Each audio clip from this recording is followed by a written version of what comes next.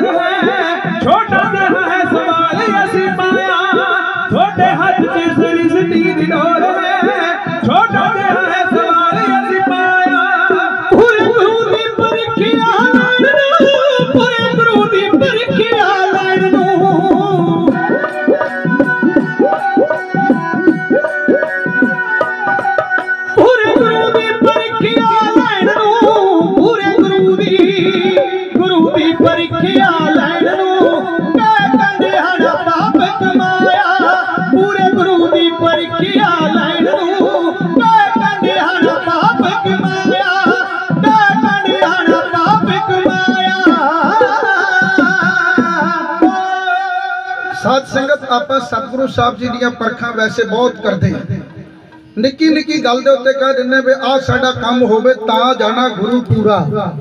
ਤੇ ਜੇ ਕੰਮ ਨਾ ਹੋਵੇ ਤੇ ਇਹਦਾ ਮਤਲਬ ਗੁਰੂ ਅਧੂਰਾ ਹੈ।